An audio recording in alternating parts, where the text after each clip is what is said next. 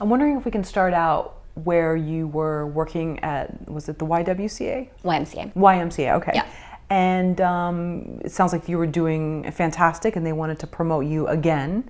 And if we could start out on that story because I find it so fascinating. Yeah, absolutely. Um, so this is a lot earlier, and obviously in my career. Um, I graduated from film school, went to USC, um, kind of thought like everybody does when they graduate from film school that you're going to graduate with like a three picture deal and that isn't really how it works and so um, while i was in college i had worked as a lifeguard and kind of an aerobics instructor and at a ymca and um, they kept promoting me. And every time someone would quit, they would say, Well, do you want to learn how to do this job? And I always said yes. And so eventually I worked my way up to program director and ultimately executive. Uh, senior uh, senior program director, which is right under the executive director. So the executive director heads up a branch, and then there's a senior program director or two, and then all the program directors under that person. So I had been working there, and um, it was i mean it was fine it wasn't what my degree was in and so at one point finally i thought well you know i had a lot of school debt um, going to usc obviously i was like I think I, I think I was about sixty, seventy thousand dollars in debt at that point. And my executive director came to me and said, um, you know, we'd really love to give you your own branch, um, but we need a five-year commitment from you to do that. And they were going to pay me over hundred thousand dollars a year, and that would have been great going towards my debt. And so I said, well, let me let me think about that. So I went home that night, and I really thought about you know what I wanted to do with my life. I had gone to film school. I really hadn't given it the chance that it deserved. And um, so I thought, well, I'm this much in debt anyway. I'm gonna I'm gonna take the chance on being a screenwriter. And so I went back the next day and I thanked the executive director for the offer and um, said, you know, I, I can't accept it. And also I have to put my two week notice in um, because I need to take six months off and I'm going to take out a loan to live on and I'm going to live my life as a writer. And if it doesn't work, I can come back and I'll let go of that dream forever.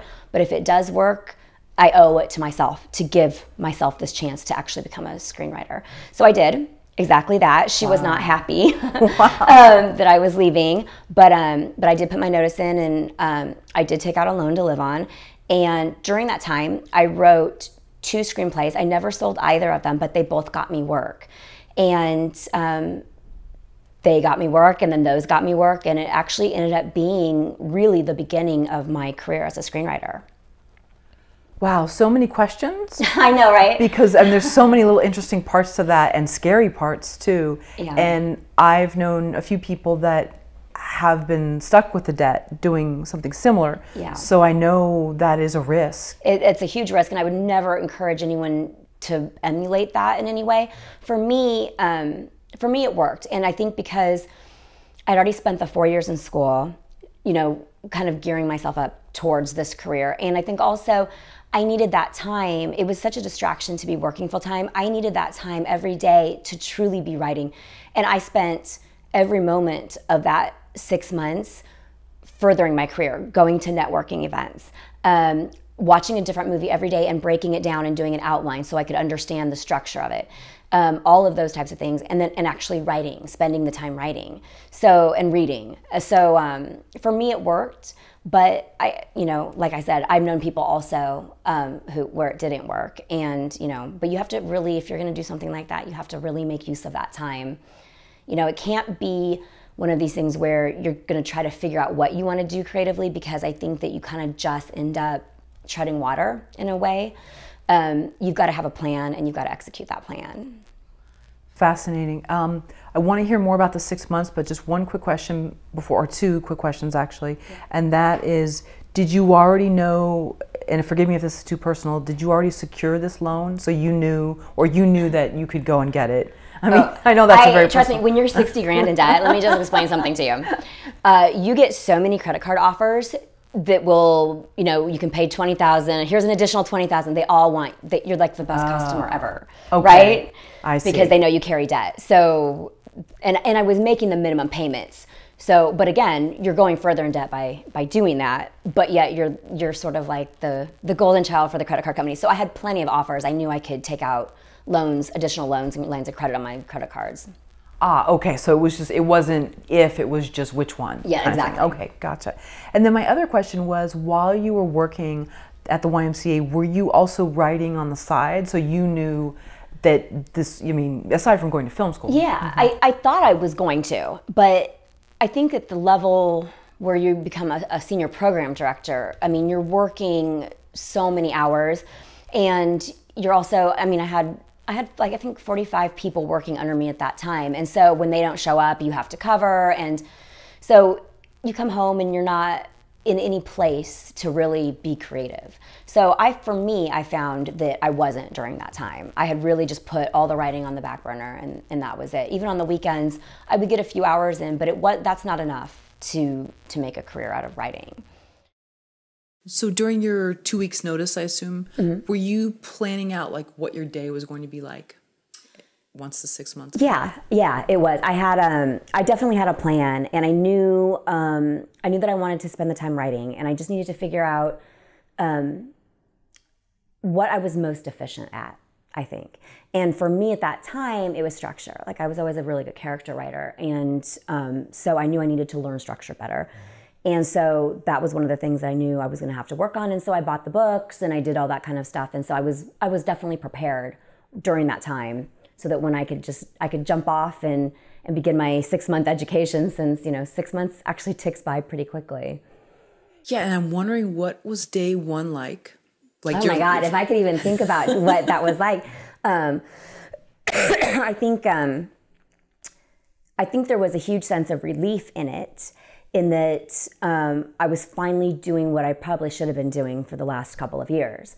So, you know, and, and I felt like I was going to enjoy every moment of this. It, may- I may only get, you know, six months of doing it. So um, that's that's basically what I did. Is I just really enjoyed that this is going to be the life of a writer. No, and probably that was sort of bittersweet too because you thought maybe this was the only six months that you would ever this would happen. Exactly. Yeah. But I, but I wasn't thinking that far ahead because I had a lot of confidence that if I did this, I could make it happen. So um, I don't think I ever got caught up in that. Oh, this might be the only time I get to do this. I think I was looking at it more like this is the beginning, and I just have to figure out how to make this last and how to make the money back so that I could continue to do it. How did you know you could trust yourself? Because I think that's probably the number one thing is knowing you could trust your time and allocating the right resources. I think I've just always been someone who trusts myself in that. Um, yeah, I guess when it comes to that kind of a thing, you know, the only person that's going to make something happen is you. And I feel like, just in general, my perspective is you have a lot of control over that. So I think for me, you know, I'd gotten into USC. It was a very competitive program. Graduated at the top of my class. I had won awards while I was there. I knew I was a good writer. I wasn't sure why I wasn't working. Like I wasn't sure why I wasn't selling scripts. And so um, for me, a lot of it was like, well, it's not because you're not a good writer. It must be because you're distracted. You're not focused. So you just got to get that back. And once you do, you'll be able to move forward. And I, I think that's where my head was at the time. Yeah, I think so many people, it's that big dilemma of like, do I want to be comfortable and have a job and have one that has a good title and that friends and family are going to respect and I respect myself for having? Or do I want to, unfortunately, have life be a little bit uncomfortable? And that's so were you prepared to be uncomfortable, whether it's cutting back on spending? or Oh yeah, I and I mean I think I still am to this day. I think that I think I would tell any writer that that you have to be willing to sell your nice car, to sell your house and move back into an apartment. You have to love this job more than you love anything you own because it can go away like that. And just because you you have some success doesn't mean you should ever get comfortable with it because things change. The industry is always changing. You're changing. You're getting older. Um, you know, there's new people coming in. There's so much in flux all the time that you really have to be in a place where you're willing to give that up. You have to love it enough. And if you don't love it enough and you really just want money, there are a lot easier ways to go make money than to be a screenwriter. So that would be my advice.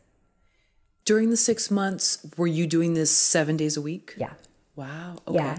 But it didn't feel like it didn't feel like work because I felt like I was finally getting to do what I really wanted to do. And I woke up every morning loving to write, couldn't wait to get back on the script and, and, and keep working on it. So it never felt like work to me.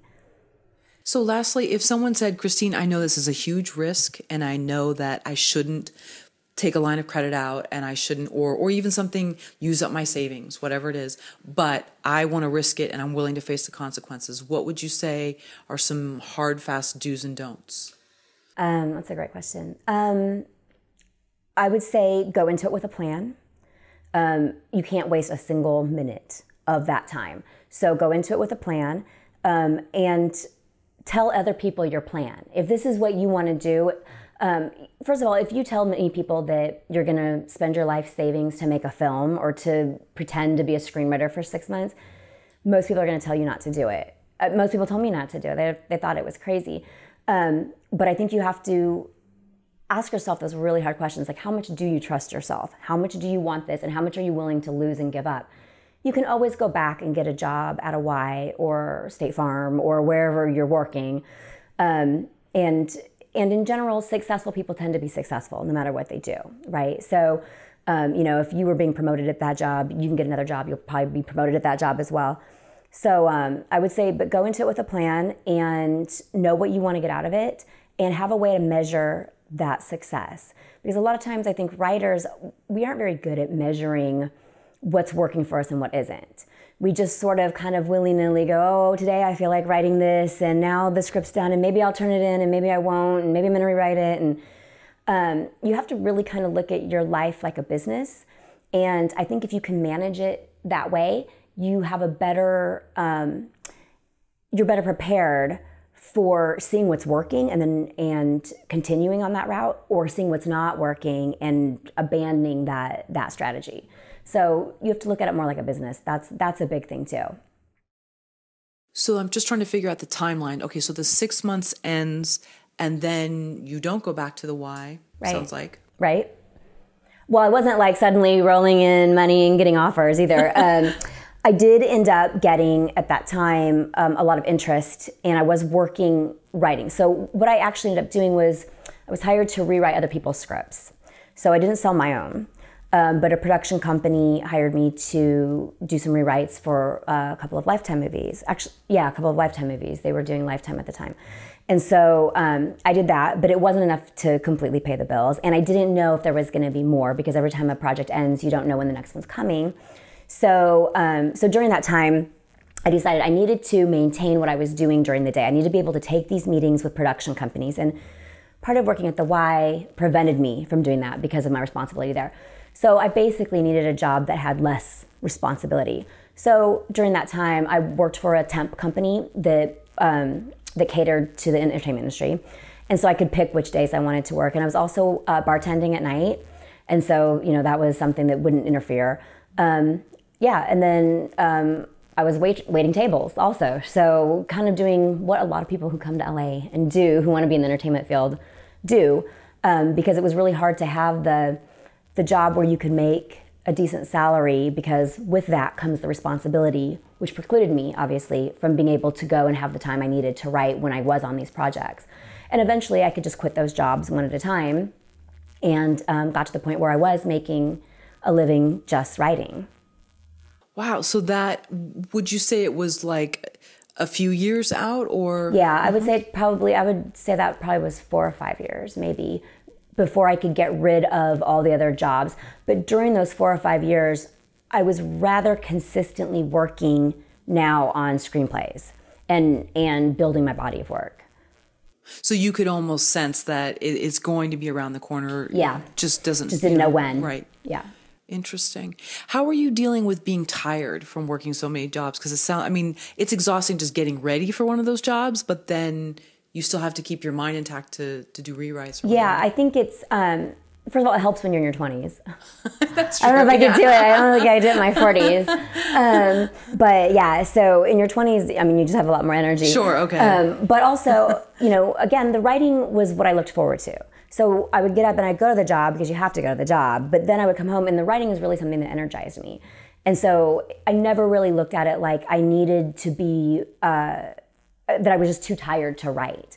I just, I don't think I've ever really felt that because for me, it's the thing that I, I just want to do all the time. Like I'm always so much more comfortable with a pen in my hand and a piece of paper, and just in case I have an idea or something. So for me, it, it never felt like that.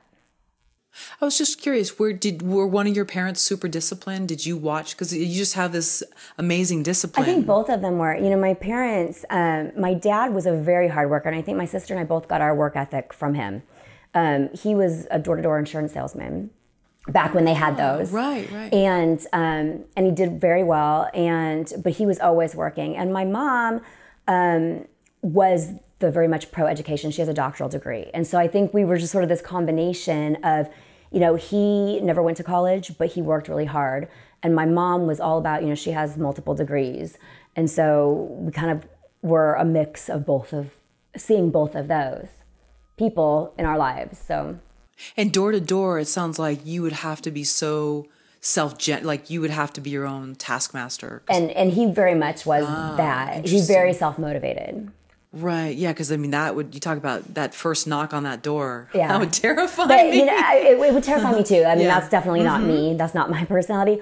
But for him, you know, he's the type of person who, I mean, people would say, oh, he could sell ice to an Eskimo because he's just that type of charismatic person, and he loves getting to know people and talking to them and selling them, and and he loves selling things. So that for him was a great um, a great occupation, but very self motivated because you do have to get up every morning and you have to decide where you're going to go and who you're going to try to sell to, and he had a lot of control over that.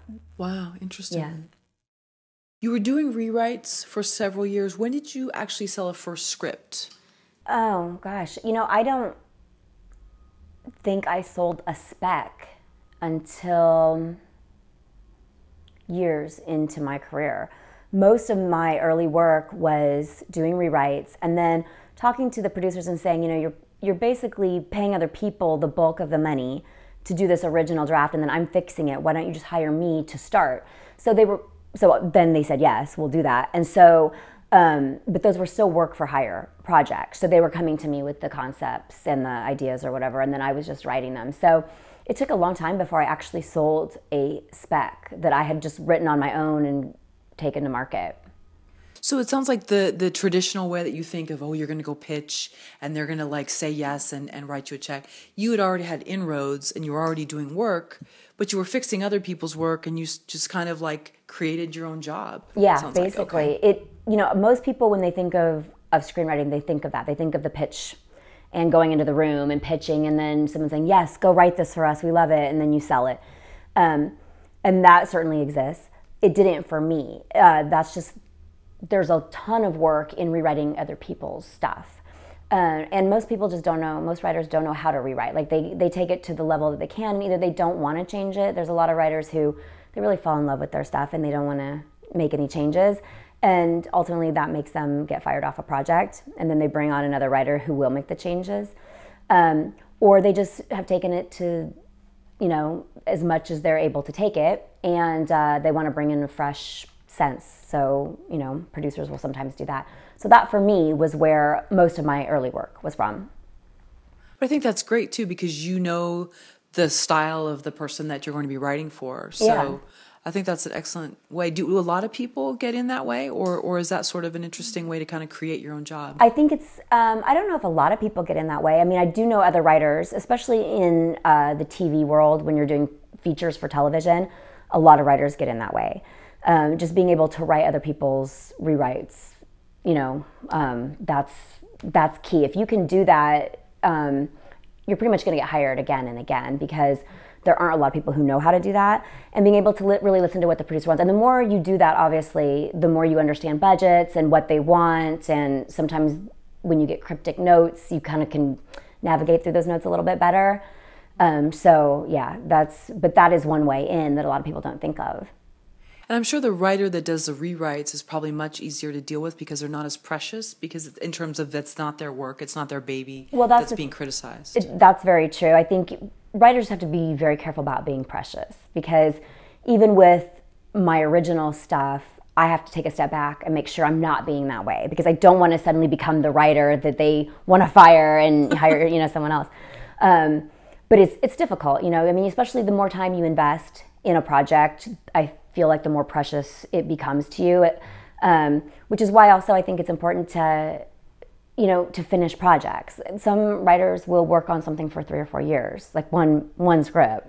Right. and um, just you got to end it and you got to move on to the next thing. Because every time you move on to that next one you become a better writer. So get those first seven under your belt and click them off and then you know keep moving. And you can always you can always revisit them but you've got to keep going through it So even though the way you sold your first script was through the fact that you were already doing rewrites and the people already knew your writing and, and loved what you did, do you then go in cold and pitch? And is that a way that you've sold I scripts? um, I've never sold anything that way ever. I've never, and I've done it. I mean, eh, just like every writer, I've gone in the room and pitched, and um, yeah. But typically, those projects don't pan out. At least they haven't for me.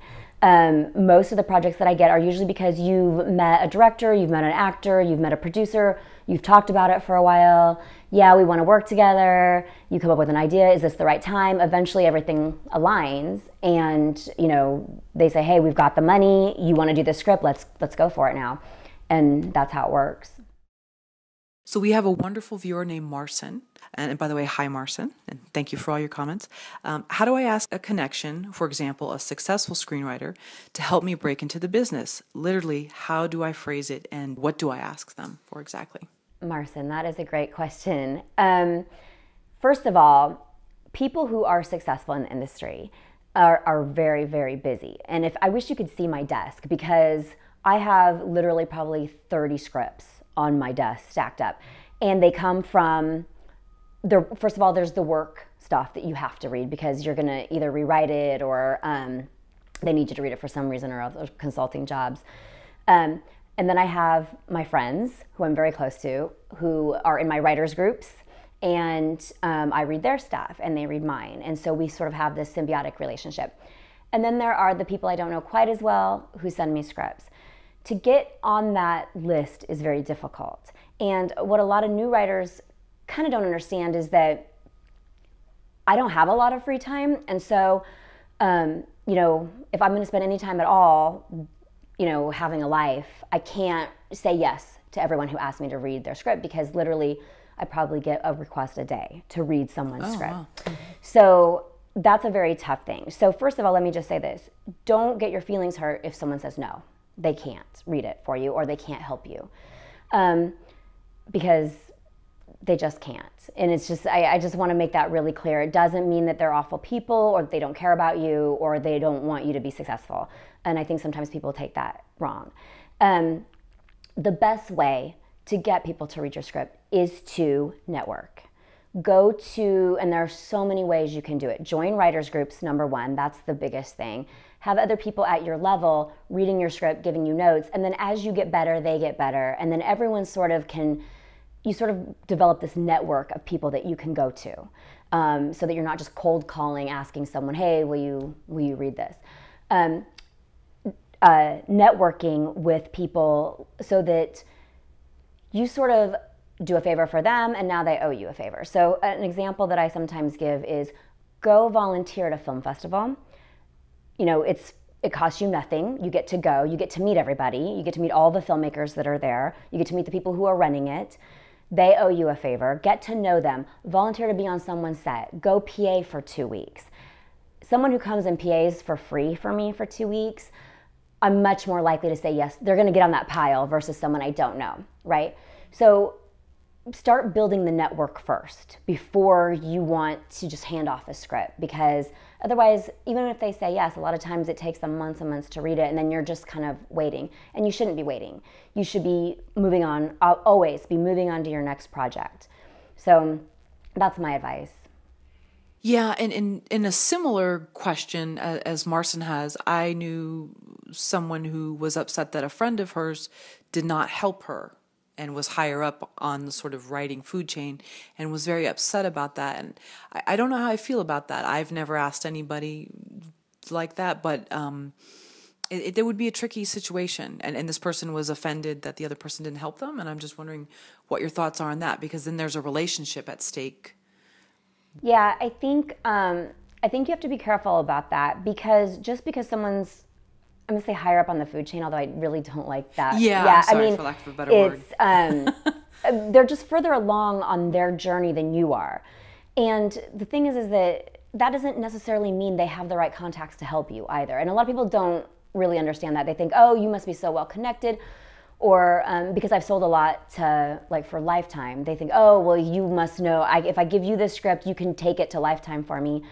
Um, I do know what Lifetime is looking for because I work with them a lot. A lot of times that script isn't what they're looking for. So, you know, even if it was a great script, I know it's not what they're looking for. I can't pass that on for you. So, there's a lot of pieces of information you just don't know. Um, it's very easy to get resentful, I think, in this because you work really hard. Every writer does. And sometimes it takes a really long time for things to pan out. And so you're looking for any means you can and anyone that will just give you that leg up. Um, you know, and, um, and, and I've been there and I get it. Um, but you just have to be very careful because I think that those things can weigh on you a lot. And when you start getting too reliant on other people doing things for you, like, oh, well, I, I tried to give it to her, but she wouldn't pass it on. And then, so that was a setback. And then I tried to get my friend to do this because he knows an agent, but he wouldn't look at it. And that was, I think that you're doing yourself a disservice. So if you're constantly looking for the next way for you to develop the relationship with the people you need to be meeting, instead of relying on other people, you're just going to be helping yourself down the road. And those relationships build over years. And at the end of that, now you're the person that people are coming to. Interesting. Okay. Yeah. Thank you. So I think aside from writing all these scripts that you do and rewrites, but you also do like speaking engagements and you go to yeah, conferences. I do. I, do. Um, I speak a lot at conferences actually, um, and I do a lot of workshops, which are a lot of fun. I love teaching, and so um, and then uh, I also do consulting when people hire me to read their scripts. So I do that too, which is also great because it's also another form of of teaching. Um, when I do consulting um, usually they obviously give me a feature that I'm giving notes on, but it's really not about notes for that particular script. It's about teaching them how to become better writers, and so that's a lot of fun for me too. Oh, and so they can go to your website, which we'll have underneath yes. the video, and yes, they can contact all my, the information is there. Yeah. Okay, great let's say I'm a hypothetical person attending one of these conferences, and then I'm one of the people waiting in line to talk to you, and you know, just say, "Hey, really enjoyed the information. I was wondering dot dot dot," and that is, um, how can I become a working writer um, so I don't have to work a part time job? I just want to go right into it. I think that everybody's journey is so different in this business you know, if you want to become a doctor, you go to med school, you do your residency, and you become a doctor, and you know, you go work at a hospital. Um, that's not the way it works in the film industry. The key to success in the film industry is being open to opportunities and being able to see them when they come. Everybody has sort of this type A personality plan, right? Where we go, okay, so I want this by this date, and then I'm gonna try to do this. And, and we think of that as being ambitious right? That we have a plan, we're working towards something, and there's absolutely nothing wrong with that. But if you get too obsessed with that, so much so that you don't see opportunities that come to you that may not fall in that plan, um, you can miss out on a lot of opportunities. And so, um, like I tell this story, um, I've told it before. Um, when I was in film school, a friend of mine um, did zombie movies, and there was only five girls in my class, and so I was always a zombie in one of his movies because he had no one else to choose from. And um, so years later, fast forward, we're graduated, and he's a real producer, and he calls me up and he's like, "Hey, Christine, I'm doing a real zombie movie. Do you want to come down and be a zombie just for old time's sake?" And I was like, "Sure, I'll come down for one day." And so I go down and I'm sitting there and I'm in full zombie makeup, like my hair is teased out, I'm green, and I'm sitting there with the background. And if you've ever been on a film set, you know that you know background is pretty boring. You're sitting around most of the time, And um, but it's fun and it's a great day off. And um, as I'm sitting there, I meet this guy, also a zombie, who had just arrived from from Boston, and he had gotten a part on an HBO series called um, Carnivàle. This was actually several years ago, and we start talking, and he um, tells me that he has the rights to this off Broadway play and he's looking for someone to adapt it. So at the end of the day, uh, he was a cool guy, really nice. I tell him, well, you know, if you need someone to adapt that into a screenplay for you, let me know. And then the very next day, the director calls me and he's like, I hear you're adapting our off Broadway play into a screen. I was like, oh yeah, I did commit to that yesterday, um, but sure. So, well, let's meet and talk about it. So I go to meet with him and the director and um, this guy. And I realize when I get to the coffee shop we're gonna meet, I don't know what they look like because we were all dressed as zombies. And so I have no clue what they even look like. So we finally find each other and we end up doing a short. And that short um, premiered at the LA Latino Film Festival. And um, that was great. It was a great experience. I got to walk the red carpet. Wonderful. I just did it to be nice, right? After just doing something to be nice for my friend from college. Um, a year later, I get a call from them, and they're like, you know what, Christine, we have some good news. Based on the short that we did, we've got financing to make the feature. Do you want to write the screenplay for $25,000? Wow. And uh, I mean, yeah, of course. No, I'm going to say no to 25 grand. so, especially when I was still in debt and all, and this was during that that period of five years where you know, I was just doing things to be on film sets and to network. And um, so, yeah, I did that. And again, that was an opportunity. Very, still very proud of that film. That film became Hotel California, um, starring Tatyana Ali. Wow. Uh, had a great cast. It premiered the following year, so two years later, um, as a feature at the LA Latino Film Festival, and um, did very well. So again, you have to be open to opportunities. I never went into playing a zombie thinking I'm going to meet somebody who's going to have me write a short that we're going to then turn into a feature. It, it doesn't work out that way. Just make yourself available and try to meet the right people and create situations where people owe you favors and they want to work with you again. And when you can do that, then those opportunities will start to come. But you've got to be able to recognize them when they happen. That's a great story. I feel like we're in this sort of like hacking bubble where everybody's got it wants to try to like make this quicker and make that quicker. And if I follow this person on social media, they might they might just put me in the project, which it, it all happens. Mm-hmm. I know mm-hmm. that it does, but I feel like we, we we're in this new era of everything's got to be quicker. And it sounds like you, although I'm sure you wanted certain things to go faster, you did things a little bit of a different way. But I think a lot out. of it was I never went into all of that thinking that there was going to be some payoff. I just loved being on film sets. I loved meeting other filmmakers. I love taking an off Broadway play and adapting. I'd never done that before. And so um, for me, it was more about the love of doing those things rather than the payoff of somehow I can I can turn this into a moneymaker for me or somehow I can make this turn this into a rung in my career. It was never ever like that. So, you know, they um, Deepak Chopra says, you know, we make every decision based on love or fear, right?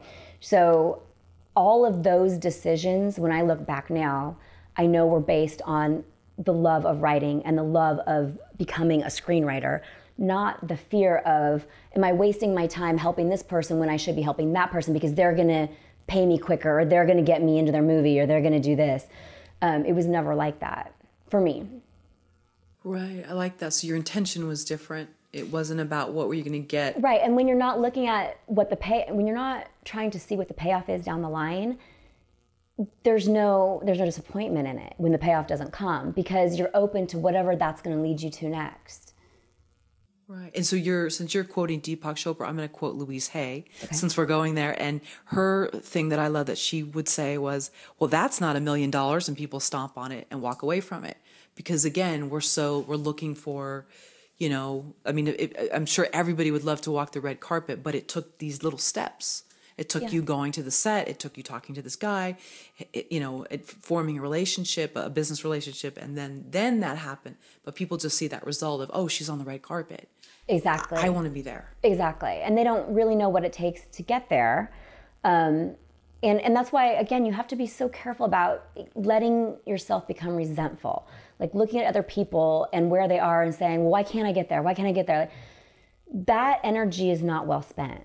So focus on why are you writing? If your goal, and, and just honestly, be honest with yourself. If your goal is to make money, if your goal is to be famous, if your goal is to be recognizable and have a name, then this may not be the career for you because there, there are easier ways to get those things than by being a screenwriter.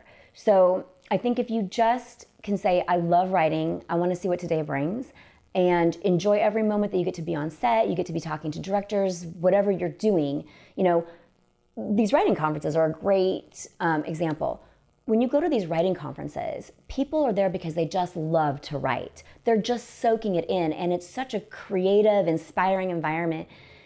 Spend your time doing those things, right? And take every piece of information that you can and, and learn and become better at what you do. Because the gratification that you get from becoming really good and writing something and saying, wow, this is pretty amazing that i mean nothing compares to that. Not walking a red carpet not seeing your name on television nothing compares to that feeling. As a writer who's had so many screenplays produced what have you learned about what studios are looking for? Um, you know it's always changing number one. Um, i don't work a lot with studios i work a lot with networks because most of what i do is for television so um, you know it depends i think they're looking for something that fits their model. When you go to sell a script, you're either selling to a producer or to a network or a studio. There's basically that's it. So if you're working with a producer, they have budget constraints, they have location constraints. They typically have a business model where they make so many films a year at a certain budget level and then they know who they're going to sell them to. It's a business. So you have to be very hyper aware of what those constraints are for them. And if you are, and you can write to those constraints, then you have a much better chance of selling your, your script. So, understanding budgets, understanding production, those types of things are really important for screenwriters. And a lot of times, that's the piece that they kind of leave out. I think most writers want to sit behind a computer and write and they don't really like to get out there and sell. They don't like to get out there and, and, learn about production and stuff. But the more I learned about production, the more I became a, a producer, the better writer I also became because I understood what could be done at certain budget levels and I understood the tricks of shooting and, and how to make that, that all work. And then ultimately, that's what kind of combined, which helped me become a director then also. So then know the studio or the network that you kind of want to write for? Absolutely pay attention to what they put out. I have so many people tell me, oh, this is a great script for Hallmark, or this is a great script for Lifetime. And I read it and I'm like, this is not at all what Hallmark wants or what Lifetime wants. Or um, so they're not paying attention, you know, to what is being put out because they think that theirs is going to fit that model, and it, it really doesn't. So you have to be very open-minded and and self-critical before you decide that it's right for a network um, or a studio because it may not be. So I think you said earlier that most of the screenplays that you've sold have been through prior working relationships where you mm-hmm. knew the person. But when you did go and pitch, because it sounds like you you have done that, uh-huh. when someone said no, what did that no mean to you? Um, it meant that the project wasn't right for them at that time.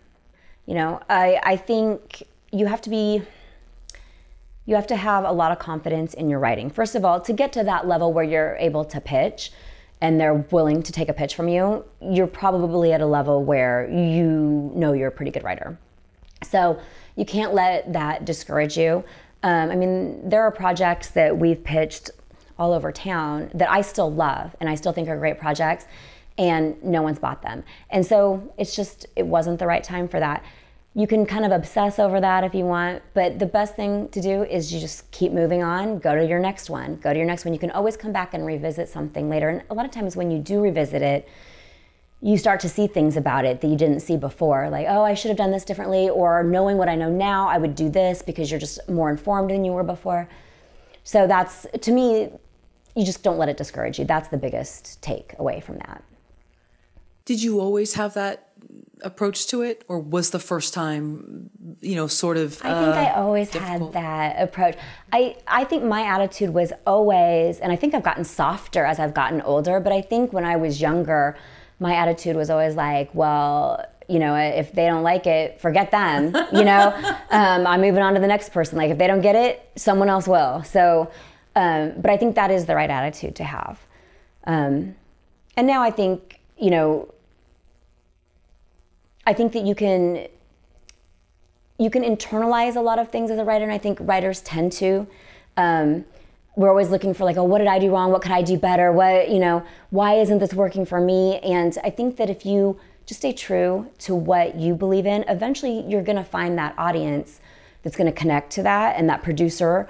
And maybe it's just the timing, maybe you just haven't met them yet. But again, it goes to why networking is so important. Expanding that group of people and networking and finding the right people that you want to work with that who creatively align with you is really, really important. Yeah, and the interesting thing is too, so many things change behind the scenes, whatever part of the industry that you're in, and you'll never know why. And you won't know, is it me? Is it what what was it? Did I say the wrong thing? Whatever. I tell actors this all the time. Um, from a director standpoint, when we do auditions and they, you know, they come into the room and they have five minutes to do their read, we know the moment they walk in if it's a no. And wow. I tell actors all the time, like, don't obsess over what you should have said differently or how you should have delivered a line. It's not even about that. They either we either connected you to that character or we didn't. Period.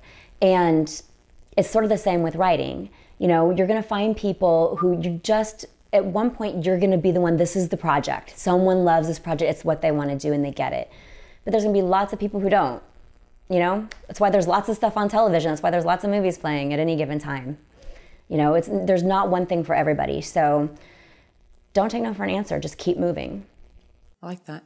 So when you take on a TV writing project, how much information does the network give you ahead of time? It depends.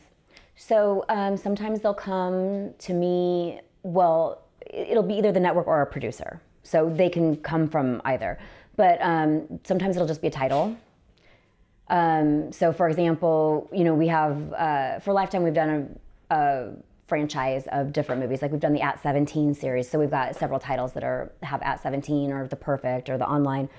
Um, so they'll come back to the producer usually and say, "We want to do another installment of the At 17 series, and so uh, how about this title?"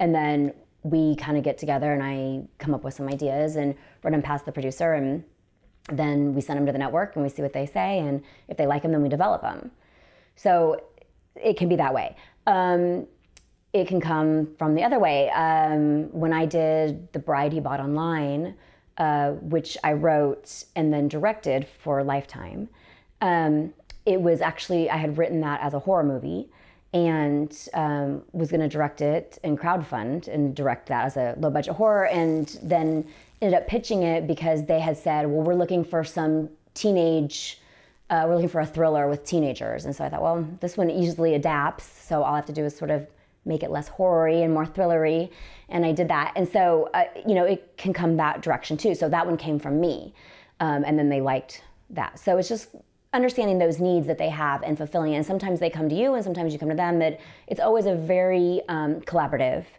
relationship. But by the time it gets made, it's gone through a lot of people's hands and ideas and Fascinating. So let's suppose it's one of these where someone throws a title at you. Mm-hmm. So they say, you know what, let's meet in two weeks.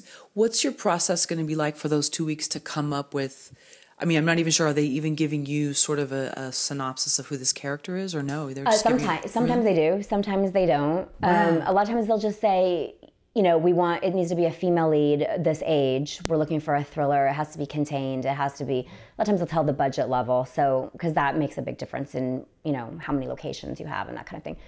So then you just come up with some ideas that can fit and um, and then they either spark to those ideas or they don't. And a lot of times it's like, well, I like that idea, but we're doing something kind of similar. What if she did this instead? And and so that's how it comes about. So those conversations end up becoming the basis for whatever you're going to write. So then in those 2 weeks, I mean, are you do you have sort of almost a composite of of main characters in your head like I can see this happening to this person or I mean, I'm just wondering that sounds fascinating. No, not really. I think I just kind of come up with those uh, I start thinking about it at the spur of the moment. So a lot of times I'll get inspiration, like I'll watch a few movies and see what they've done lately, and and then I'll think like, well, you know, this is sort of an interesting what they did. This was unique. What if we did something like this? Or I have never seen a character who is agoraphobic, so let's give her that, and like that'll kind of bring an interesting element to it. So those types of things, and I think also like I just read a lot.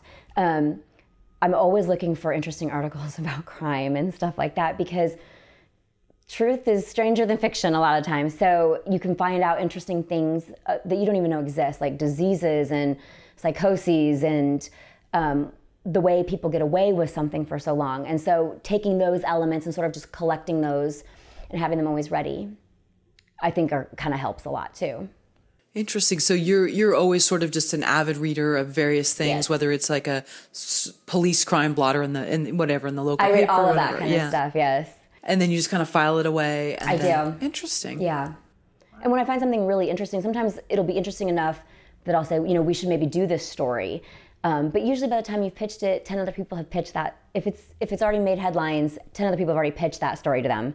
So it's just keeping that kind of stuff in mind so that when you're writing, you go, oh, this actually, this would be really interesting. And I haven't seen it before. Does the network require that you submit an outline before you start writing? Um, sometimes. It depends on the exec that you're working with, and it depends on the producer. Sometimes the producer will um, require it. Um, sometimes it's just we go from one paragraph to one page. Sometimes we go from one paragraph to a script. It, whatever they want, whatever makes them feel comfortable in their process is what I deliver to them. What's the typical show that you're writing for? The length of time, That it takes me to write it, or the, uh, let's see, or the uh, what, what would be the typical airtime Oh, of the, the show? so for most television, it's 83 to 86 minutes for a feature. Oh, okay. So then, what does that translate into in terms of? It depends on the producer in terms of pages. So you know the the sort of the standard is one page equals one minute of screen time. Um, that's sort of a, a loose guide.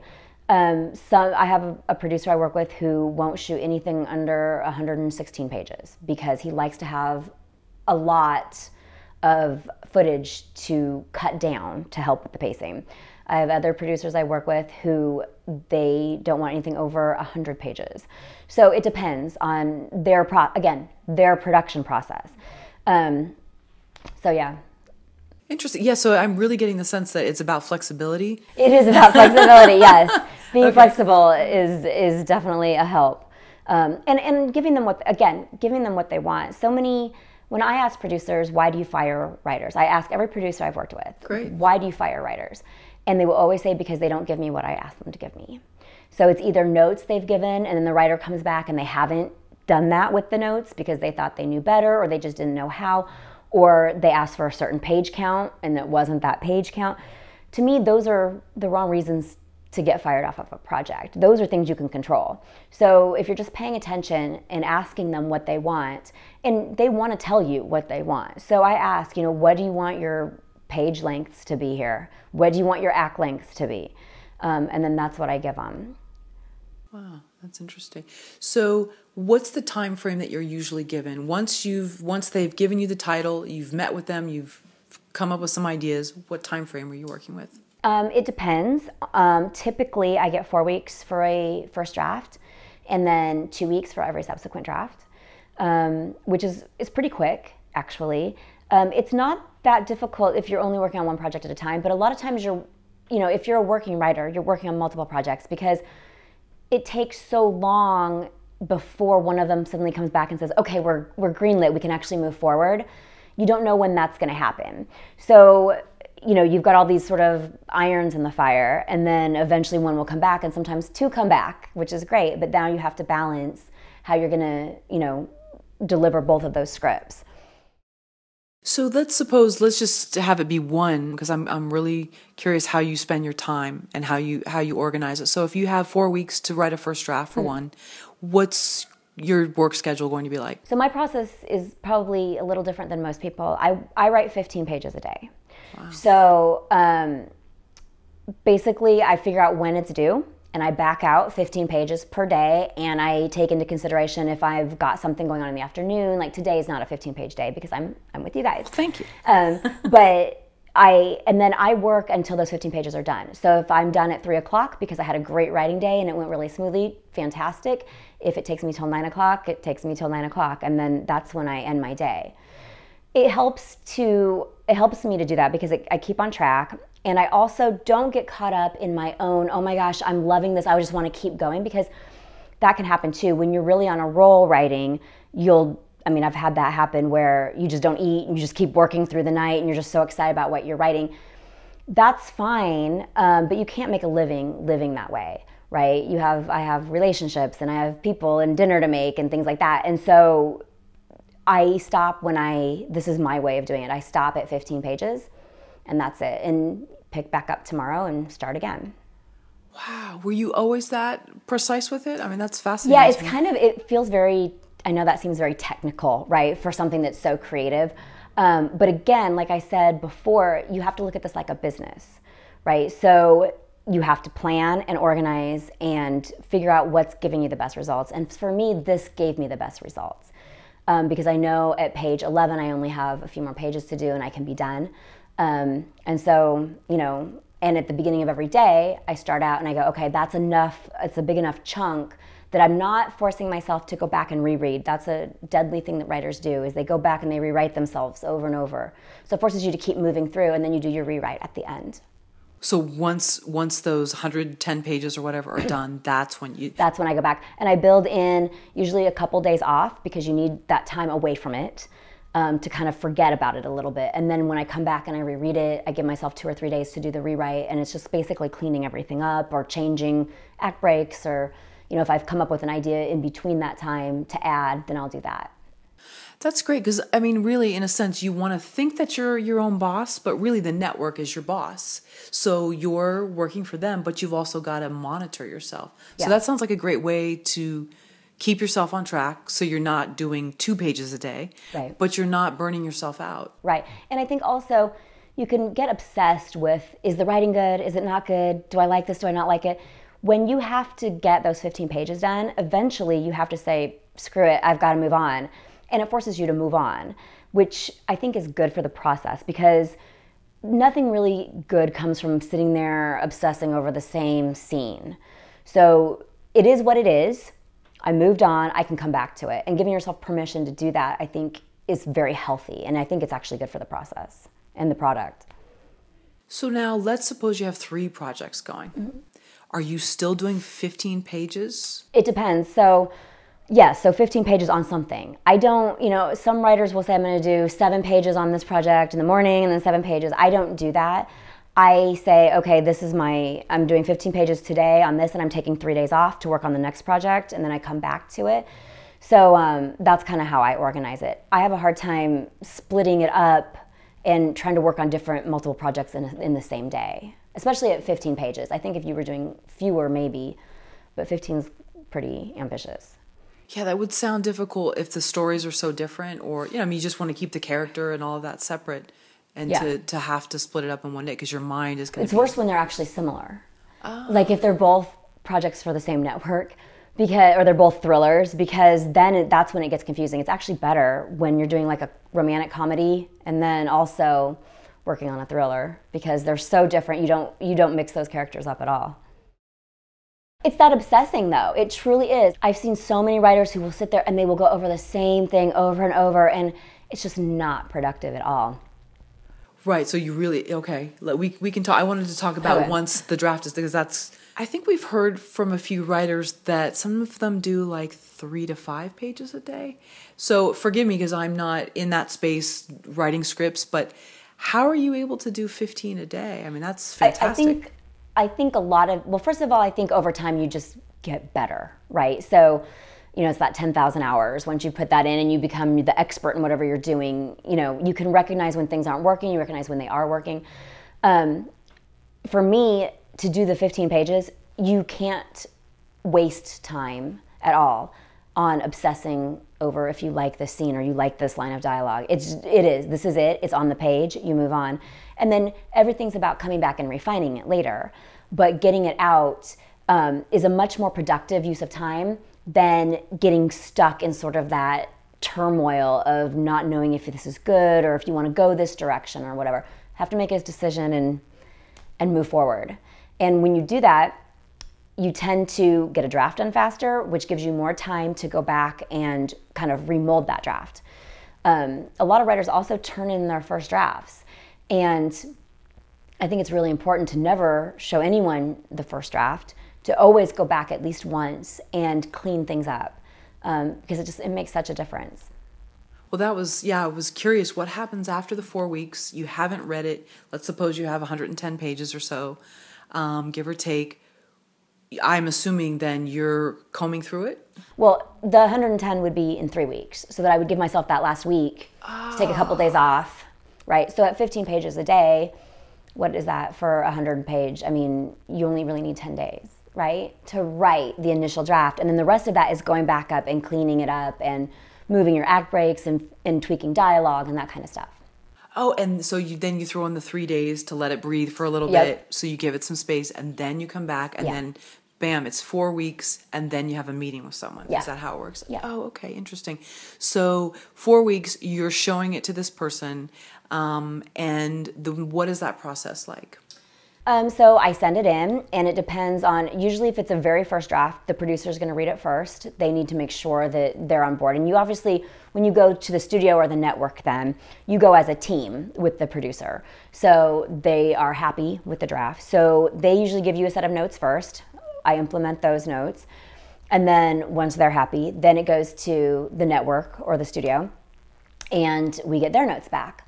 So by the time they read it, we already know that the producers approved it for budget and they like it. And so you've kind of got that person in your corner to, if there is something to fight for, like if there's a, I guess, if they don't agree with, I don't know, whatever creative decision you've made, the producer is already on board uh, and understanding why you did that, and they're sort of on board with you. So it makes it a more productive meeting also to have that than just like a bunch of different people giving random different notes that's those are the worst and i've had that experience too but it's not it's not the best way to do it you know it's better to kind of like go through the process correctly um, because then then the drafts get better and better So I'm wondering if we can even go in closer to a day of doing 15 pages. What time do you start? What is that? What is it like doing those 15 pages? Um, I usually I get up early, so I usually get up around six and I start writing right away. And um, yeah, I mean it's I take a break for lunch when I get hungry, and otherwise, I mean I'm really just focused on getting those pages done, um, and that's it. I don't know. I don't know how to tell you any different. It's just. Yeah. it's just a day, and you know, it's a lot of sitting in front of a computer. right, and so you at, at 6 a.m. you're ready like I get more done in the first two hours of my day than probably the last five hours of my day. So, you know, whatever I'm doing, if I'm at the gym, it's a better workout in the morning. If I'm here working, it's, you know, I'm getting, I'm more productive, I'm getting more written. So I try to take advantage of those hours. I just happen to be a morning person. Right. No, I get that. And and I know we've talked to other people. I think you have less distractions then too. Whether it's just, you know, just knowing you're up before a lot of other people or whatever. And it it's is. controlling distractions. I mean, you can check email every 10 minutes if you want or check Facebook every 10 minutes if you want, but you have to you have to force yourself not to do that because that really interrupts your ability to focus. And you're forcing yourself not to go back and reread, be right? Because then you're gonna be stuck on Exactly. a scene. Interesting. Now, was that always the way for you? Did you go back and reread stuff and did you learn? I think I, I think I developed that over needing to be able to finish these projects more quickly and find a more efficient way to do it. Because I remember when I was in college and writing, I would do this thing where you know I would get obsessed with the writer's block. Oh, I can't get through this scene. This is holding me up, and and it's just it's just a waste. And that's fine when you're writing as a hobby. Um, it's not really fine then either, but you know, at least you can manage it. When you're when you have deadlines and you know you're getting paid and people are expecting scripts and there's a crew waiting on you to do this so they can shoot it, um, yeah, you don't have that luxury anymore. So you just find the most efficient way. Are a lot of these productions taken to Canada to shoot the film? Quite a few are. Um, but there's actually still quite a few that are shot in LA and um, and a lot of places. We've, you know, Georgia. a lot of stuff is shot now in Georgia, New York, even New Mexico. So they're expanding a little bit. A lot of it has to do with the the coming and going of tax credits and the availability of crews. So as these um, little pods sort of develop, you know, like for example, Vancouver was really hot. It's still very hot.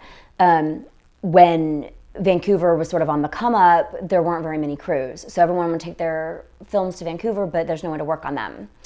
So then, you know, so then they now they have film schools and they're developing that more. So now more films, and so that's always in flux, and everyone's trying to do that. Do you ever go on set? I do, yes. Oh, you do. Mm-hmm. Okay. And so, what's it like to be on set? What, what, first of all, uh, what, how long is the production usually? Um, it depends. So a lot of these TV movies shoot for about 12 to 14 days. So the time on set is actually very short. A lot of time, I mean, some of them in Canada, we were shooting six day weeks. Um, usually they're five day weeks. Um, yeah. So you're not there very long. You're, when I go to on set, I'm usually there for a week for prep and then the two weeks and then if i'm not directing i'm just writing there's no reason to be there after it wraps if i'm directing then obviously i'm there for a little bit or producing i'm there after it wraps but otherwise i come home so as a writer on set what are you sort of just and forgive me just but like seen but not heard and then if they have something they need worked on then you're there or how is that i've actually been really lucky because the producers who've asked me to come on set um, they want me to be there working. So I'm meeting with the actors. The actors are going over their lines. A lot of times they'll have things they want to to change or whatever. So I'm doing that. Um, as they're going on the tech scouts, I go with them and I'm rewriting based on what how the director wants to shoot something. Um, so I'm rewriting the scene so that it, it matches what they've discussed they want, that kind of thing. So it, you're really part of the process, whereas it seems like is that more film then, where the writer is sort of just like, "Great, we have your thing. We'll call you if we need you." Yeah, I mean, there's those also, you know, and there are certainly producers um, that you know you sell the script and you don't even know it's shooting, right? And then it suddenly comes out, like, "Oh, my movie came out, and no one told me." um, so there's there's obviously that too, um, and that's typically how it is. I've just been with producers who they like having the writer on set to make those changes quickly. So yeah, but it's it's both ways, and neither way is right or wrong. You know, they always kind of talk about how the writer isn't really no one cares about the writer and it's like goodbye and you don't even get invited to like the premiere or anything but um, but you are sort of out of the process at that point. You know you're so much a part of the beginning of the process and then you really hand it off and, and they take over and you should be moving on to your next thing. I haven't watched television in a few years just because we've been busy doing film courage and uh, you know we watch a lot of netflix and things like that. But i used to watch a lot of lifetime movies. Okay. and i'm just wondering has the character type evolved? Absolutely. And, okay curious yeah. Because the when i was watching it it was probably early 2000s maybe mid 2000s and so it was more i'm thinking of like connie sellecca as like you know the mom that's fighting for her kids or something which is great. But i'm just wondering how has it become a little edgier I think it has. It's, you know, it's interesting because like anything, television is always reacting to what's going on in society, right? So, um, and and they're always sort of bound by ratings because that's the game, right? If you have a network, it's all about getting the highest ratings. So, um, so networks are always evolving, and um, you know when I when I remember Lifetime when I was a kid and my mom used to watch it, it was like a lot of like women getting beat up and then like fighting back finally, you know. And so we've kind of gone through all of that and now it's it's very much about female protagonists, but it's also about evil women and um, and it's there's family components to it, but there's also a lot about women who are in their career. So it's it's really kind of expanded to um, to I guess reflect women in society and what they want to see. So um, yeah, it's it, it, and it changes all the time. We get new mandates all the time. Like, oh, okay, well, we're not doing those types of movies anymore. We want to focus more on these types of movies. And so, you know, and then they try it out, and either they work or they don't. And um, so again, it's just always evolving.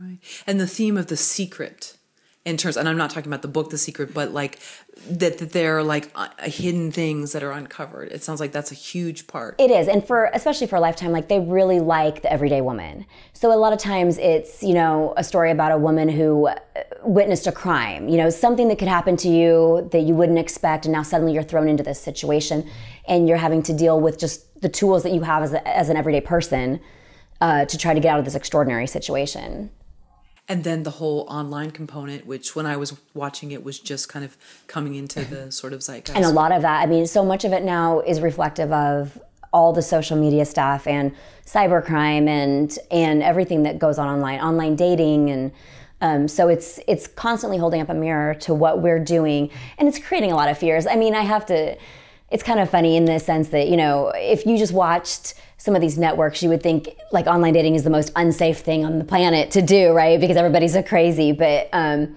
you know, that's what makes them fun too. Right, right. Because it's always sort of like the perfect guy or the perfect girl or whatever. And I think those are some of the, t- yeah. you know, and you don't expect that. But then there's something a little bit off, but we, we get off on that. Like it's, it's kind of interesting, you know? So it's exactly. like a heightened version of what we kind of see anyway. Exactly. And there's an online component to it. You know, whenever a movie premieres, there's a whole, like, we watch the Twitter feeds. You know, people watching and tweeting at the same time with people they don't even know, you know, watching the same movie and either making fun of it or, you know, oh my God, I can't believe she actually did that or, oh, I knew it was him, you know, that kind of stuff. And so that they've really embraced that too because that's the, the direction we've all moved. Fascinating. So if you're doing sort of instead of like watching a football game and people are tweeting about it or a political debate, they're watching a lifetime movie and so mm-hmm. you're looking at that information to seeing like why people reacted a certain way. I find it fascinating yeah. as the writer to see where people are surprised and if we were able to misdirect and if it worked and that kind of thing. So I like watching that. I mean, the, the networks watch it for other reasons because they um, they have a social media platform and you know obviously it helps their ratings and stuff. So but for me um, i just like to see what people are guessing and what they're not guessing. And if if we've you know duped them into believing this person's the bad guy when it's really that guy. And for me that's fun. So I know we're talking about writing being very practical and businesslike, but it sounds like you really do have to be your own sort of, you know, middle manager or, or boss the stress and sort of unromantic notion of deadlines. How is unromantic notion? I love that phrase. Um, you know, deadlines are the things that make that separate someone who writes for a hobby um, from someone who writes for a living, and those are two very different things. So. Um, there is a stress, obviously, to deadlines, but there's also a relief to deadlines in that once you're done with this project, it's done once it shoots, you're you're off of it. Otherwise, you know, when it's your hobby, it's your sort of this this project that you could work on forever. Sometimes people do work on them forever. So, you know, knowing that you're going to get to the finish line and then move on to the next thing helps keep you looking forward and I actually really enjoy that. You know, I one of the things I didn't like about the YMCA was dealing with the same issues over and over, the same personnel issues. You know, the same two people that you're counseling three months ago are back in your office. We're talking about this again. The same budgets every quarter. You're putting them together again. It got really boring. I, for me, I love going full force into one project and then now I'm done. I can forget about it and I'm full force into the next thing. So that's the beauty of deadlines. Right. So you're not because I know I think you'd mentioned about like you didn't totally want a day job and I, I get that because it is a lot of that same whatever the dynamic is. But then there's new problems with being on your own because there's like this free fall sort of that could happen or if you keep yourself on track which it sounds like you are excellent at um, yeah i try to be yeah you know? absolutely it sounds like it. I mean that's that's that's a skill in itself though. Yeah i think Don't that's think? the that is a part you really have to develop and you have to again, I always tell writers this you've got to view this, you know, because everyone sees writing as their dream job. right? And they have this fantasy that they get up in the morning and they're still in their pajamas and they're petting their cats and they're writing for two hours and it's this wonderful, you know, existence. And it can be whatever you want it to be, right? You're obviously in control of it. But you have to approach it like a business. You're you're doing it not just because you love it anymore, but also to make money. There's that whole other component. And if you can balance them right, you can have both. You can still love it and you can still make money. But the money part is a big part of it, you know, because we all have bills to pay. So um, if that's not for you, then keep it a hobby, you know, and enjoy the process of writing two pages a day if that's what you like to do. Um, that luxury goes as soon as it becomes a profession. What did you do to get better as a writer from 10 years ago to now? What do you think it's been, whether it's just the 10,000 hours we talked about? It's a lot of it is the 10,000. I mean, I'm a big believer in that, that once you put in your 10,000 hours, you're at a place where you just have the confidence and you know what you're doing. And so the obstacles that you encounter, you just know how to tackle them. Um, and so that's uh, very different than I think than I was 10 years ago before I had done that. Um, but I think also just being able to to recognize your deficiencies. And for me, you know, when I read a great script and I go, oh my gosh, you know, this is a great script, it, I get really excited about it. What are they doing that I'm not doing? Like, what can I learn from what this writer did? Um, and so I think just constantly learning, you know, and constantly reading and constantly researching and having that in the back of your mind all the time that you want to get better, um, you'll just gravitate towards things that make you better. Um, instead of finding that comfortable place where you know you know you're good at writing this, so I'm just going to write this over and over. I think forcing yourself to stretch, and because once you do that, again, it's it's a great feeling. Um, you know, when you've written something good and you've done something you haven't done before, you, then you have something that you feel really proud of.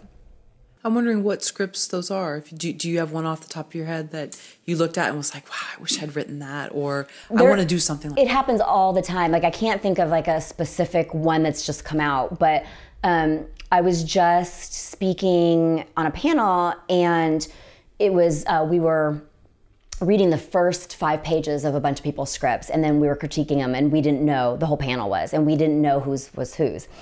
And there was one that I thought was great that I really gravitated to. And so the guy came up afterward and was like, Would you like to read it? It was my script that you liked. Oh. And I read it and I just thought it was really fantastic. He's a great writer. And I was, I remember reading it and the, it was an action script and i don't typically write action so i'm it was so crisp and it was just moving so quickly and i was like i just love how he's he's structured this and how you know even on the page the way it looks um, just so conducive to what he was trying to convey in terms of the content um, that I, I was like, well, I've got to remember this. So I was, as I was reading that, I was absorbing all that, you know, because he may not be as far on his journey as I am, but he is certainly a better action writer than I am. And so um, I was learning a lot from how he he structured his and, and the words he chose. Yeah, and that's where you were talking about earlier I'm not sure what the word was bitterness, but that's where you get that chance to either take it from bitterness to, wow, what can I learn and how can I do something similar? Yeah, you can learn from mm-hmm. everyone. And that's the thing. There's so many people who, I think people just want to feel validated so badly that they get to a place where they're like, I'm the expert and everyone should just be listening to what I have to say about this. And that's, it's kind of crazy because, yeah, you may have put your 10,000 hours and you may be very good at what you do, but you can learn something from everything that you read, even learning what not to do. But even in, in really bad scripts, you'll find these little moments where I'm like, oh my gosh, that was really well conveyed. Or, you know, um, so just being open to those things and learning from other people because people are constantly adding to this body of of work that exists in the world and there's so much for you to be able to read out there. Just you know be open to what other people are doing. I but then again you have to love reading. So many writers don't love reading. So you know read read read read and see what other people are doing. A lot of people want to start writing without ever having read a script and i just i don't understand it are you also reading novels too, or nonfiction? When I have time, I don't have a lot of time. Yeah. Um, but yeah, when I get the chance, you know, I, I love to read novels. Yeah, it's it's such a lost art. I miss it too, and it's really hard in today's world because so much amazing content is on YouTube, so we can learn it even faster by watching a video. But I miss the act of reading, and it's it's a lost. Yeah, It is, and even I mean, I even get caught up sometimes in reading nonfiction because I feel like okay, at least I'm learning more than if I'm reading a novel. But you have to remember, you are learning. You're learning. You're by getting caught up in it and seeing how that writer has taken you through this flow of their words. You know, you're learning a lot by just doing that too. That you can then bring to screenwriting as well. Do you believe in screenplay structure? I do. I believe in the three act structure. Um, I believe in learning the rules so that you can then break the rules. But um, there is an acceptable structure to storytelling, and there's a reason it works. And I think if you can get re- really good at that, um, so good that then you can manipulate it, um, that serves you. What was one of the first books on screenwriting that you read? Um, I think the Sid Field book, um, because it was required reading for at USC Film School, but but it's still a fantastic book, and I think I actually still have it in my library. Oh, nice. Okay. Yeah.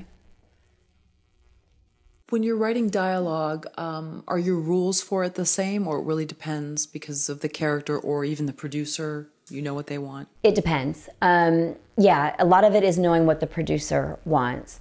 Um, but a lot of it also is just finding the character's voice. You know, one of the mistakes a lot of screenwriters make is that they all the all the characters sound exactly alike. You should be able to you know block out the character name and know who's talking, and um, you know you can learn a lot about how people speak just by sort of listening, like listening in coffee shops to how people talk and stuff. People rarely are very self reflective.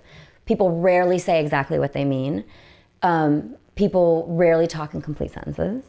And so, you know, the words we choose, when you think about when you go to say something, there's probably a hundred different ways you could think of to say it.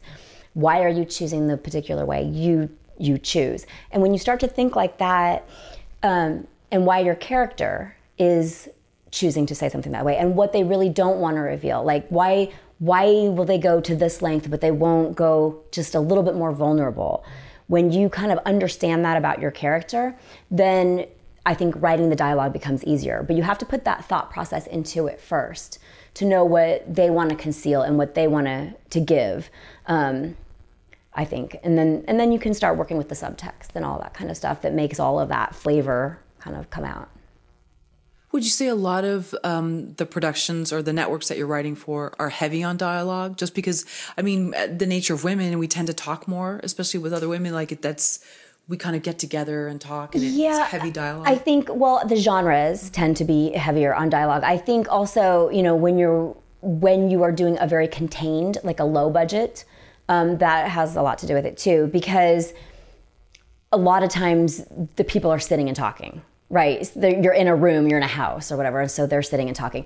But i think making sure that that pacing is good um, so it just doesn't feel like really you know people just explaining things. That's kind of the death of people's dialogue is when people over explain and they don't know how to sort of weave in that that exposition kind of nicely um, then it really just kind of like hangs there. That's that's not good writing.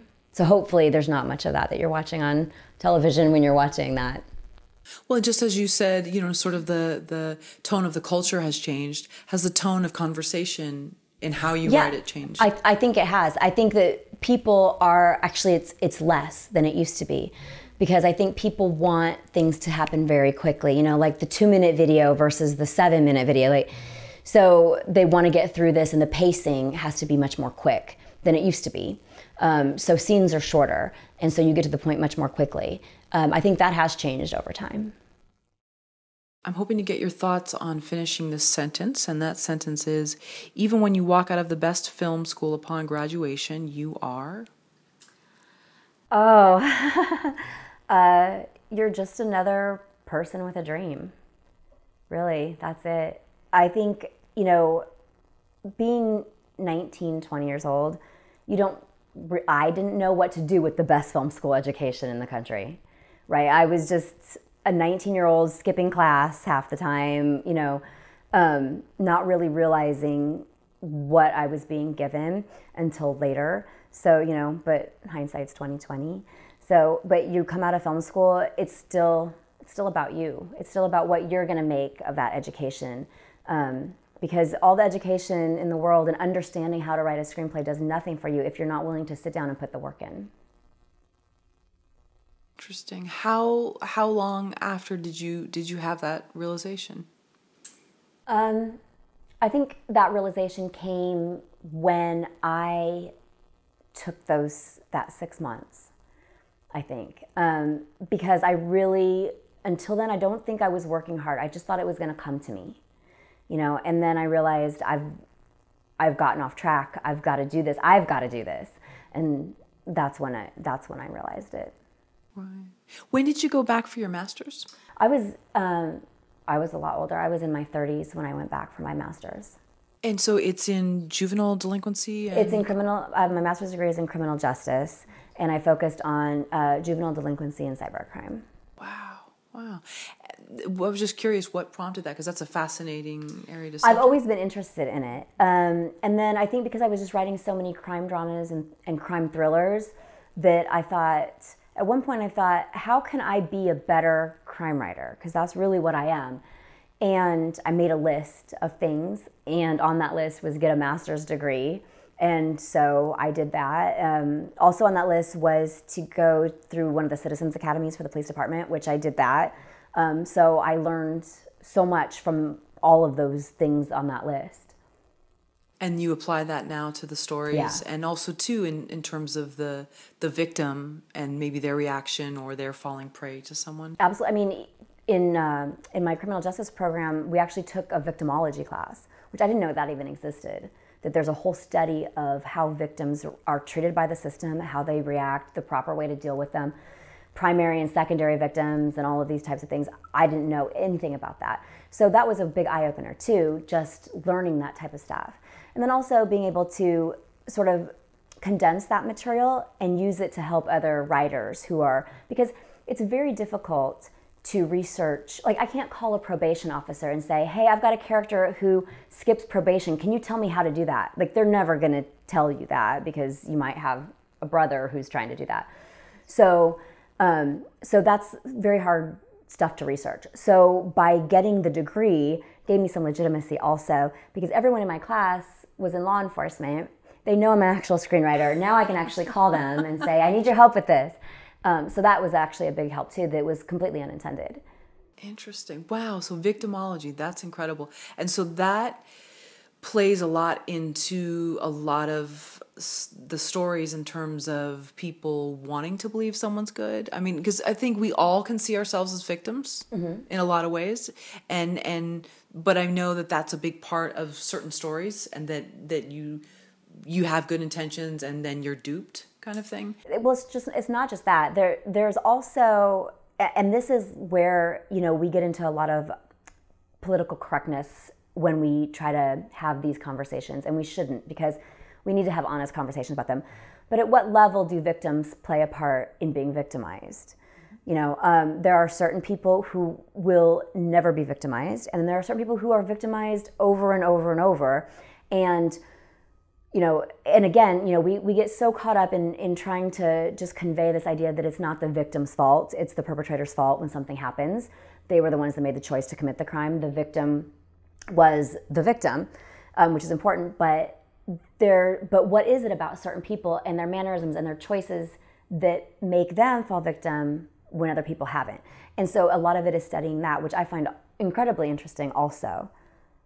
And so you've been able to use that in it sounds like a lot of the characters that that you write. Yeah. Mm-hmm. yeah i try to incorporate a lot of that kind of stuff just to give it the authenticity that i think it should have. And um, and i try to bring up some of those questions right? These ideas at least let people think about them as you know even if we don't we don't make a concise statement about them that there's this idea that you could be semi responsible for what's happening to you um, so i try to bring this up and then let people talk about those things later on so I looked at your IMDb, and is the first credit, uh, writing credit, "The Perfect Nanny" with Tracy Nelson and I believe, yeah, Bruce I think that is the first one. Yeah. Okay, great. Um, so how is that the one that you had from doing the rewrite, and then the producer wanted to hire you? Um, No, I got fired off that project. Oh no. Yeah, Okay. I that was with a producer who I was working as an assistant in development, and then left. He sold the company. I left.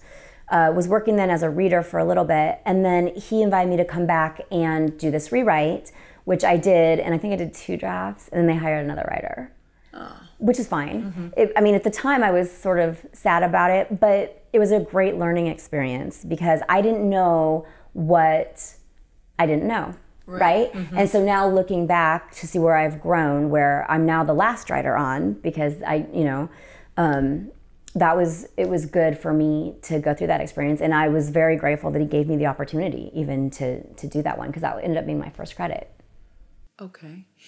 So the one that you were fired off with maybe not giving away too much information, but did you see what it was or was it something that was out of your control? No, it, I just wasn't a good enough writer to do what they needed me to do. Ah, okay. So I I did improve the script, and a lot of what I put in there eh, ended up in the final cut.